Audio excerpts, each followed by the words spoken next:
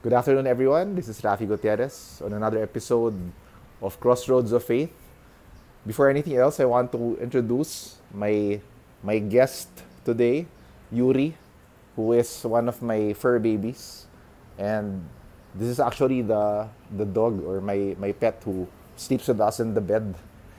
She is really a, a very special person in my life. I don't actually look at her as a, just a dog. She is quite, it's actually more important than many people, many human beings uh, in my life.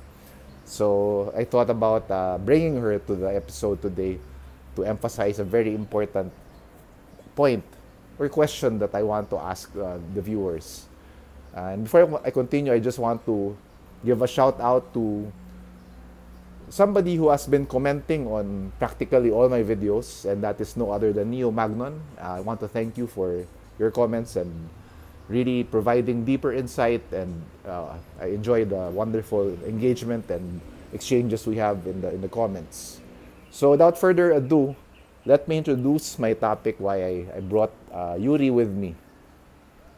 And this topic today is a little bit different from what I've been talking about because in the last episodes I've I've been talking about uh, God and belief and religion. Today I want to challenge, in particular, the concept of rebirth in the teachings of mainstream Buddhism.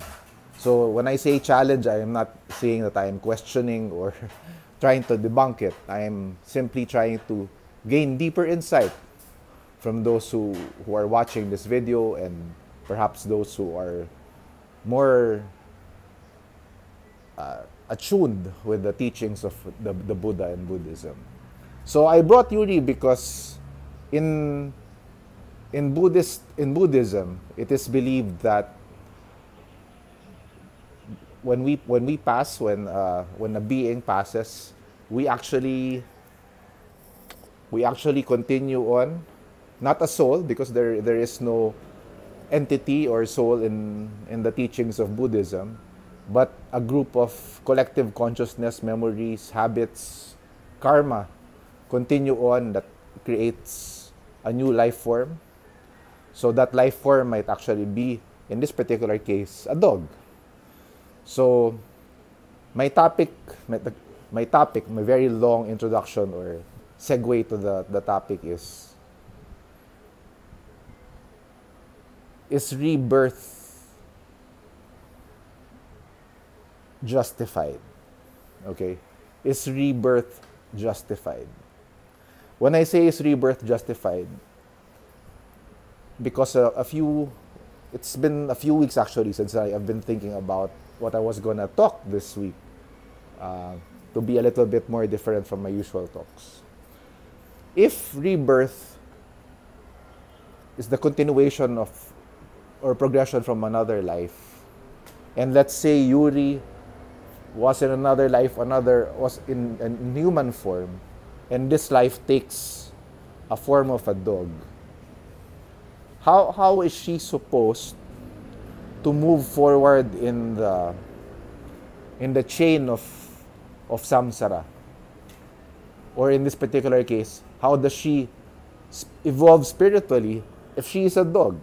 Clearly, I think she's a little bit smarter than most other dogs I know because she can she can follow basic commands. She she knows her she knows where to do her her her thing in the morning and when she goes. She's very very disciplined.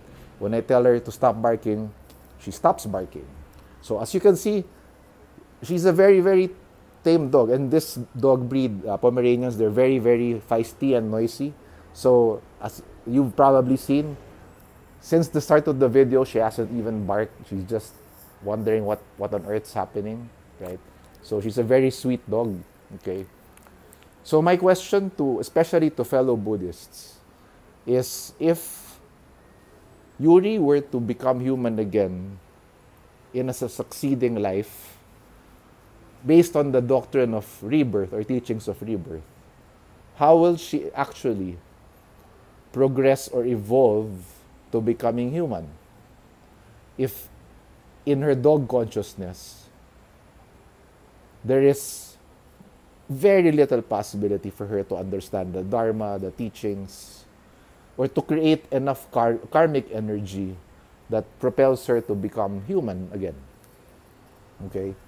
So, I was very emotional when I thought about it because my thoughts were what if Yuri, in fact, in, in, in a previous life, life, life form or a previous lifetime, was a criminal that that had a problem that that that did serious that did a serious crime to my to my previous life form. So, in a previous time, Yuri and I were were enemies probably.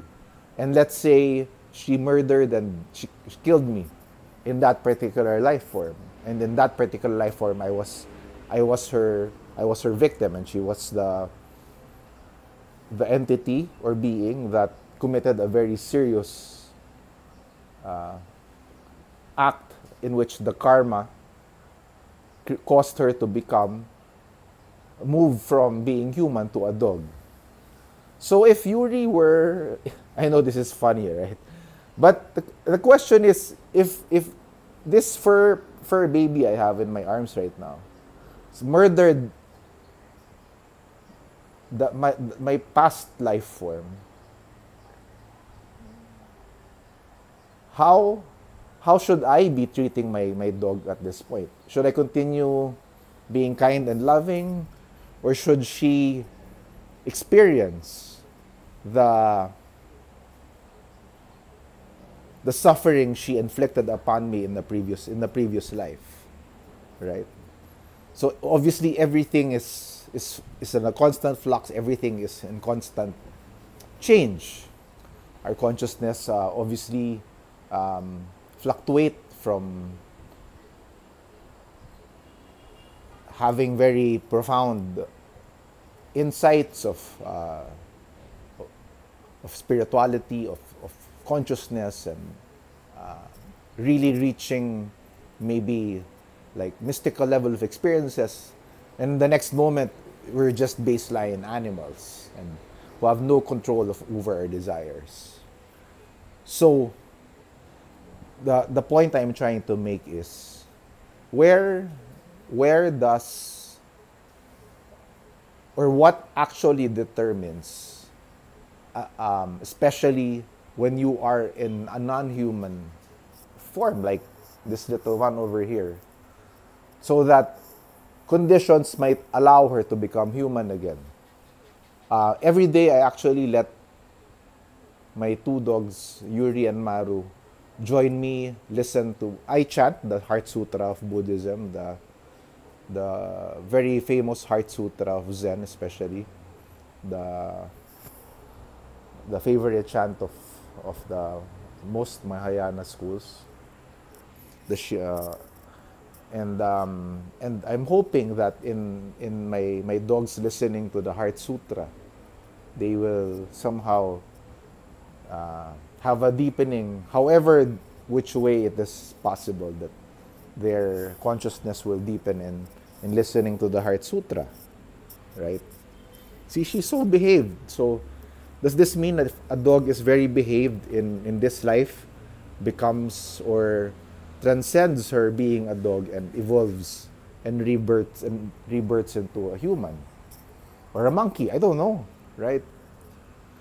Okay, so the next point I want to make is if in fact my my pet over here was a really horrible human being in her past life, shouldn't how how will she remember those acts of atrocity she committed to other other sentient beings?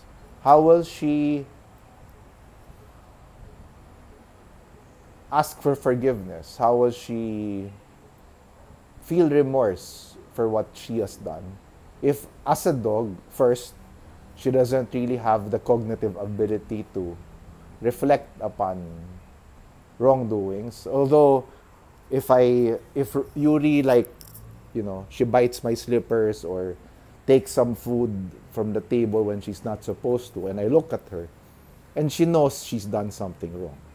But beyond that, I doubt any dog uh, can remember, can, can actually feel remorse for something they've done a few days ago, a week ago, a year ago, let alone lifetimes ago. So, how are they able to atone for, for the evil for the evils they've done if they were an evil person in the in a previous in a previous life form.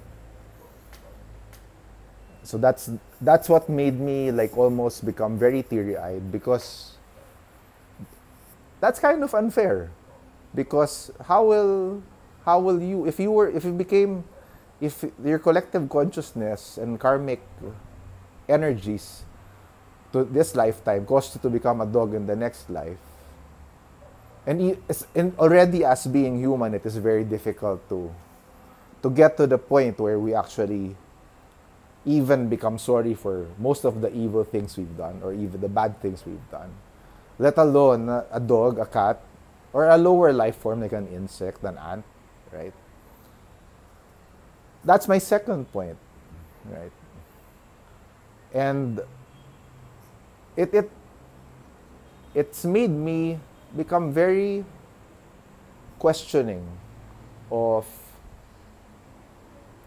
how how we how the cycle of samsara or the wheel of death and rebirth really function in that particular context because I would like to think that in the grand design of things, whether it is in um, Christianity, Buddhism, Hinduism, Islam, Judaism, etc., that whoever designed, whoever, whatever designed the rules that we, the entire u- universe or multiverse follows is a fair one.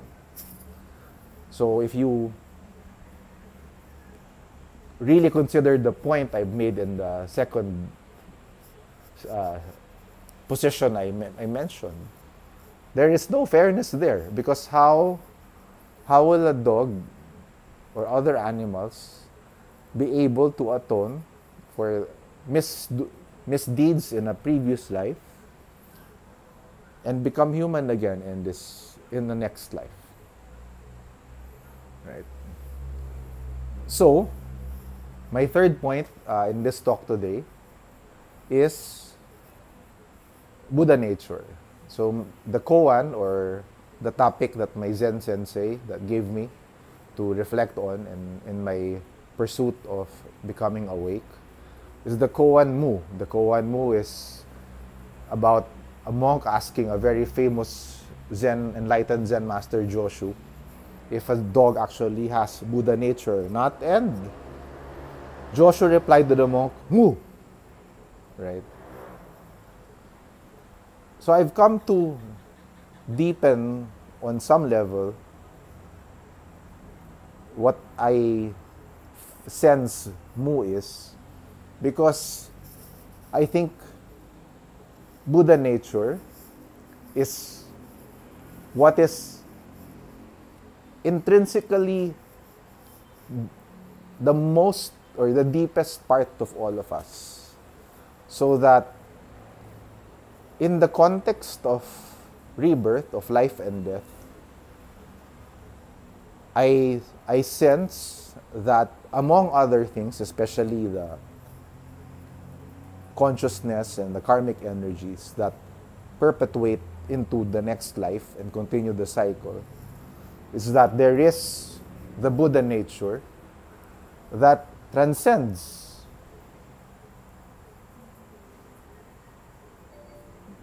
the wheel of samsara itself, which is what I believe is the only thing that kind of evens the playing field.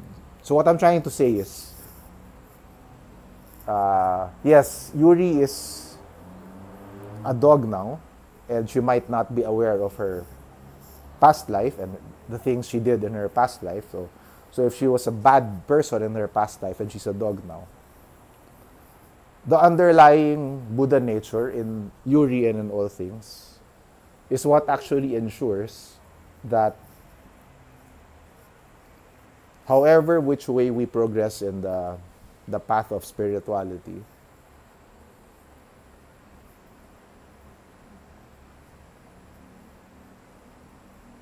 is covered by rules that are fair governed by